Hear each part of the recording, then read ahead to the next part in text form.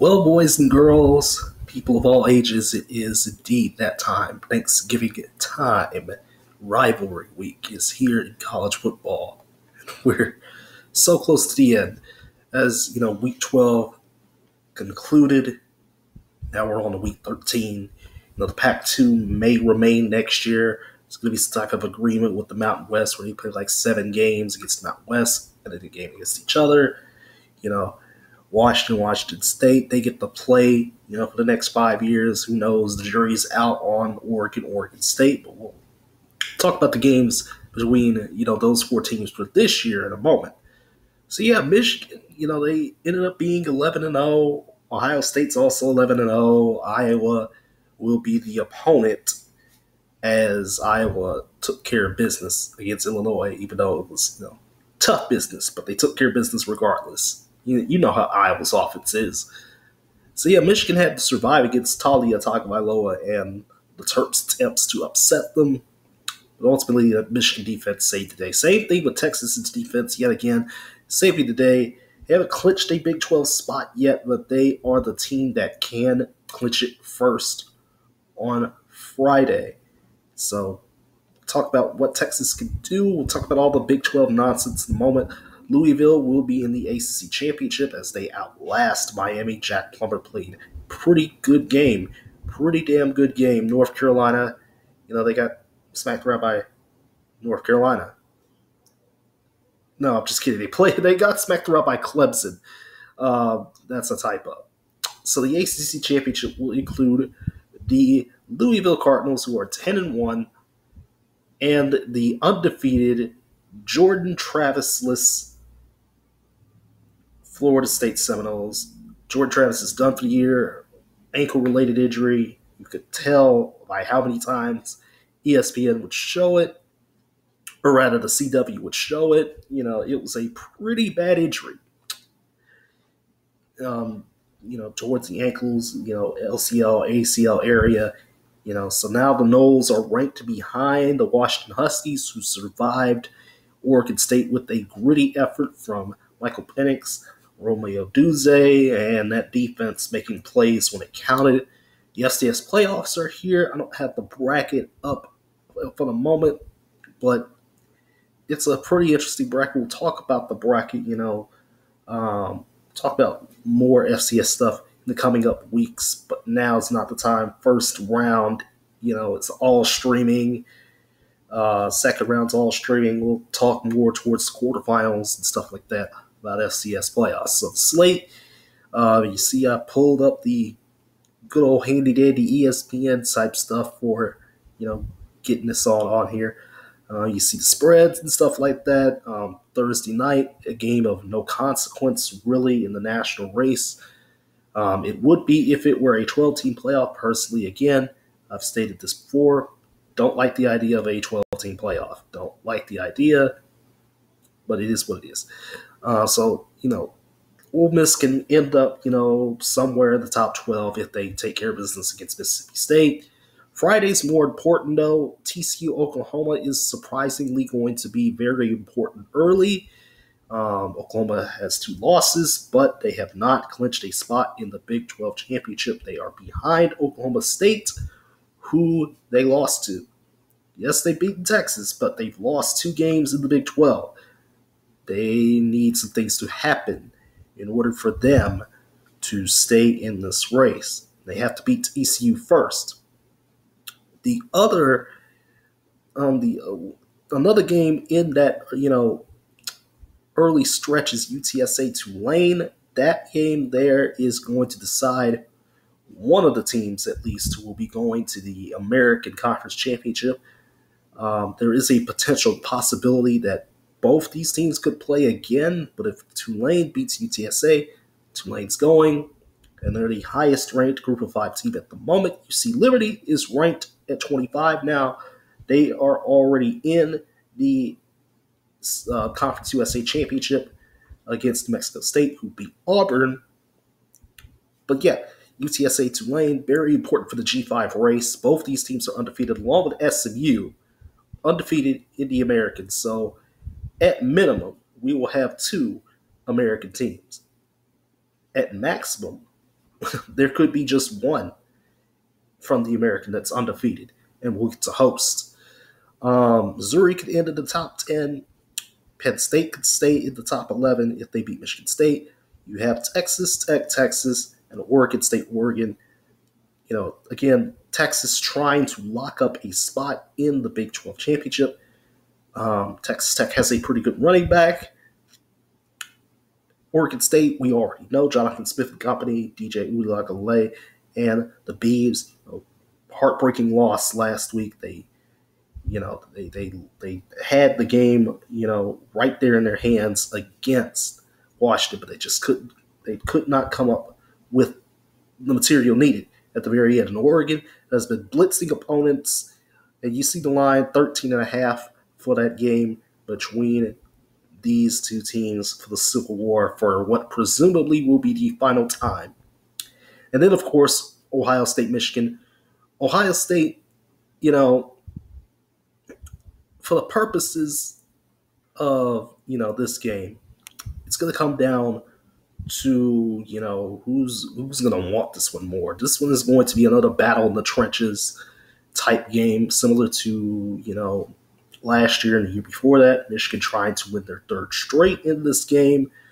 Ohio State, you know, wanted to prove the doubters wrong and everything like that. Marvin Harrison Jr. still trying, you know, even though he's not even close to a Heisman contending type feel in my eyes, and also in a lot of people's eyes as well. You know, he's he's definitely a receiver to watch out for. Michigan got picked apart by multiple Maryland Terrapins last week. It wasn't just one it was more than one. So that's going to be something to watch. It's also Cade Stover for Ohio State as well, and Emeka Egbuka, who's been kind of you know off and off. Julian Fleming off and off. Um, for Michigan, we all know what the deal is. Run the ball behind Blake Corum, who's finally running the ball the way he should have been all season long. You know, and I get it. Michigan's been blowing out teams left and right, so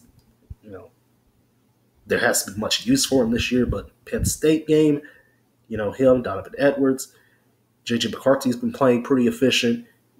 Last couple games he hasn't, but you know, something's got to give. McCord, McCarthy, no Jim Harbaugh on the sidelines, of course. Ryan Day trying to prove the doubters wrong. One hell of a game we're going to get. Also, keep your eye on Kentucky Louisville. Yes, despite the fact that Louisville is ranked 10th, chaos can still brew. So just because Louisville is ranked 10th with one loss does not mean that chaos can still brew. We have a whole Thanksgiving weekend of football to where chaos can simmer and Louisville can sneak into this thing. Do not count Louisville out of this thing yet.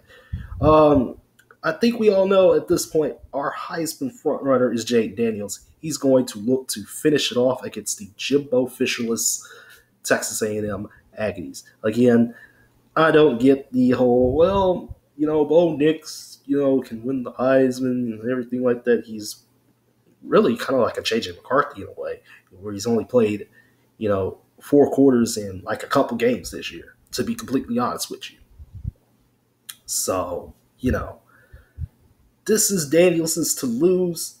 You know, he could lose it if you know if there's not a performance that you know, is worthy enough. But honestly, the numbers, it's a MVP award. That's what the Heisman is.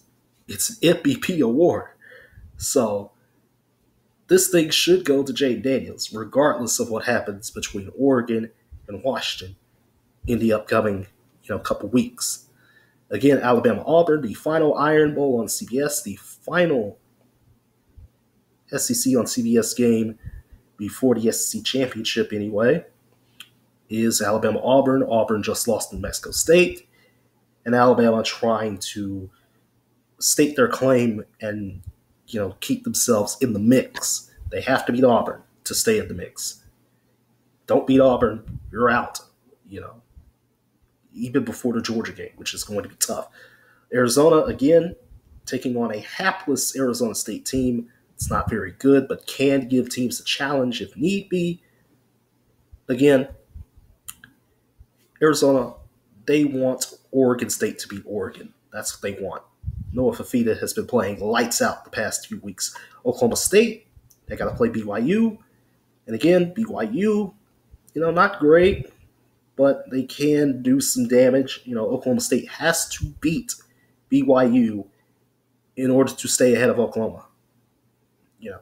Oklahoma's waiting for Oklahoma State to mess up. So, and keep in mind, Dillon Gabriel has been, you know, he's been he got injured, um, you know, during that Oklahoma game, you know, against BYU, or was it the week before? I forgot. Um, Liberty again lurking in that G five spot. I don't know what the committee will do.